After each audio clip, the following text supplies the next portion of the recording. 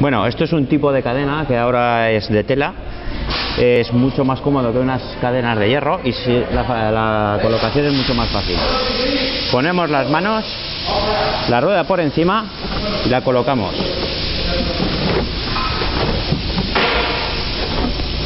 Una vez esté puesto aquí arriba,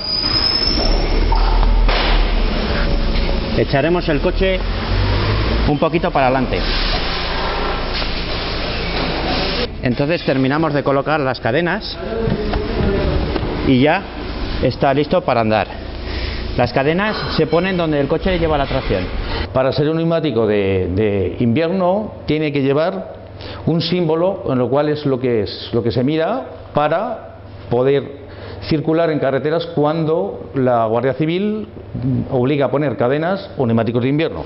La Guardia Civil se fija en este símbolo que es M más S y los tres picos de montaña.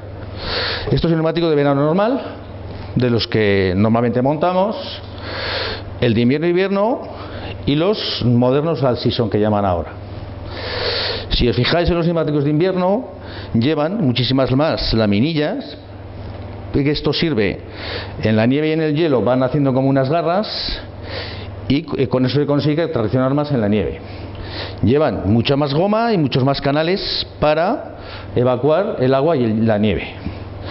Los All Season llevan la el un diseño también en nube para facilitar el, des- el desagüe y sin embargo no llevan tantas laminillas, por eso en nieve no van tan bien. Otra característica especial de los de invierno es que llevan dos marcajes. Llevan el marcaje de invierno y el marcaje de neumáticos normales de verano. Por último comento que, contrariamente a lo que se, opina o se piensa, el precio de los neumáticos de invierno no es más elevado que los de verano. Es casi igual o incluso más barato en algunas dimensiones.